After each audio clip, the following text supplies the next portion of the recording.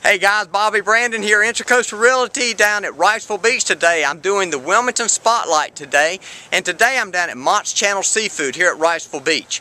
Wonderful, wonderful seafood if you like fresh seafood. And I've got Gene Long here with me, the owner of uh, Mott's Channel.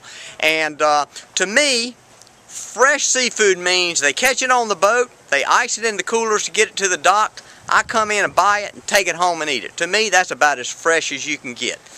Uh, Mott's has been around for 21 years. I've been here before when the line is out the door on a Saturday or um, uh, buying seafood. So uh, they've got a very good reputation. But uh, I'm going to ask Gene. Gene, you heard my definition of what I, I think fresh seafood is. Um, you know, when you when you say fresh, how do you see it?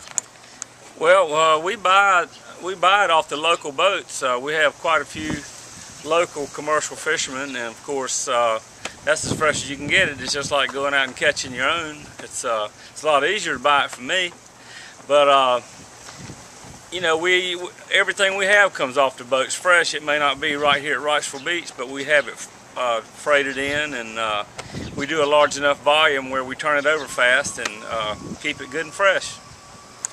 All right, folks, there you have it. There's Gene Long, Mott's Channel Seafood. When you come across the uh, drawbridge at Wrightsville Beach, take the first right right there at Reddick's.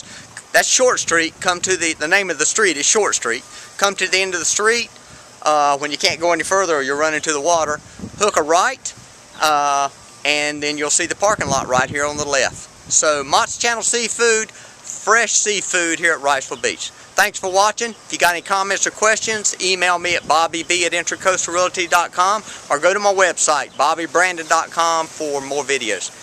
I hope you have a wonderful day. Thank you, Gene. You're welcome. Bye-bye.